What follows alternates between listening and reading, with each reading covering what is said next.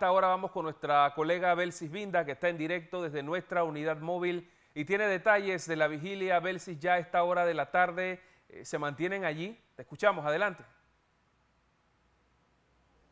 Buenas tardes, Adair. Continúa pues esta vigilia acá en la Corte Suprema de Justicia. No se detiene esta manifestación. Quienes pues han llegado después de las 4 de la tarde para ese relevo, como quien dice, de aquellos que en horas de la mañana pues laboran y en horas de la tarde tienen esa oportunidad de poder continuar con esta manifestación. Hubo eh, pues también pronunciamiento y reacción de parte de algunos ambientalistas especialistas en este tema, como el abogado ambientalista Harley Michel, quien explicó parte de lo que está sucediendo o lo, que se ha generado en cuanto a afectaciones sobre el tema ambiental en cuanto a la presencia de Minera Panamá en nuestro país. Vamos a escuchar brevemente parte de los planteamientos que daba este jurista en este tema ambiental, cuáles serían las afectaciones que se han detectado hasta el momento y que han sido comprobadas. A pesar del cerco de información que tenemos a ese respecto, no solamente por la actitud de los gobiernos, sino también por lo remoto del área.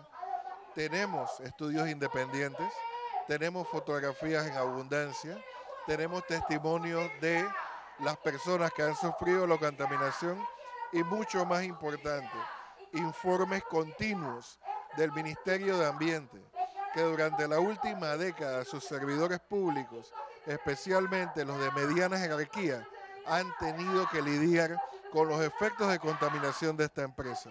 Ellos han denunciado con estos informes que constituyen prueba pericial y dan fe pública de que la red hídrica se ve conculcada, de que hay metales pesados en las aguas cercanas a la minera y de que también se han violentado múltiples normas ambientales. Por tanto, tenemos toda la legitimidad para asegurar de que estamos delante de una empresa contaminante que no mereció nunca una relación jurídica con el Estado panameño.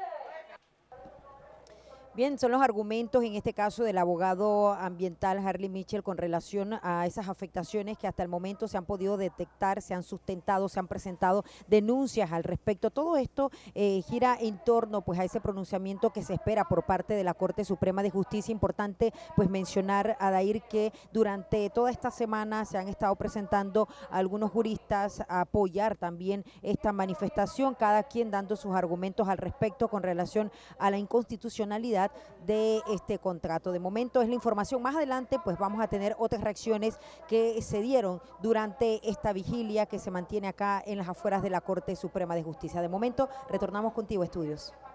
Interesante. Muchas gracias, Belsis, por el informe.